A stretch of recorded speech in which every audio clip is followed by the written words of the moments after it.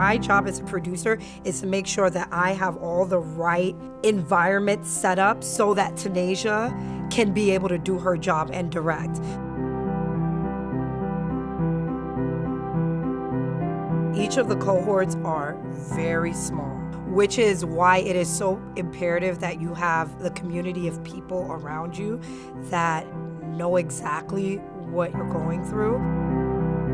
I've been in rehearsals for Broadway. I've done interviews with Broadway stars and legends. I've met so many people through this program. And then the minute that I tell them I'm a second year theater management and producing student from Columbia, the way that they just light up because they're like, oh, she knows.